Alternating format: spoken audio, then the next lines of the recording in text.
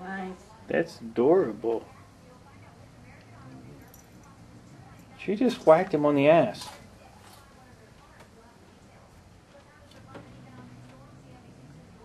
Very nice.